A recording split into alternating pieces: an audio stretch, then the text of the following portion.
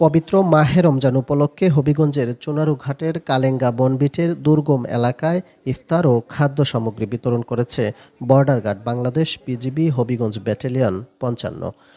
এ সময় উপস্থিত ছিলেন বিজিবি পঞ্চান্ন ব্যাটালিয়নের অধিনায়ক lieutenant colonel Imdadul Bari, major Mohammad Toufiqur Rahman, সহকারী পরিচালক মোহাম্মদ ইয়ার হোসেন ও স্থানীয় ইউপি চেয়ারম্যান মুস্তাফিজুর রহমান রিপন।